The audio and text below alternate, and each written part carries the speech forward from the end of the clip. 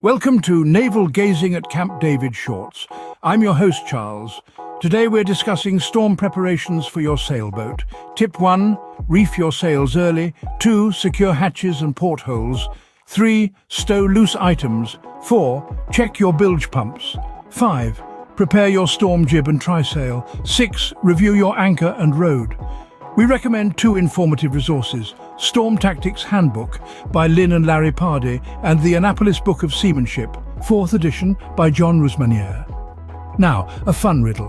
What's a sailor's favourite music? Nautical tunes, a not Eichel pun. Share your storm preparation tips below. Subscribe to our YouTube channel, Naval Gazing at Camp David, for more sailing content. Until next time, keep your sails high and your anchors steady.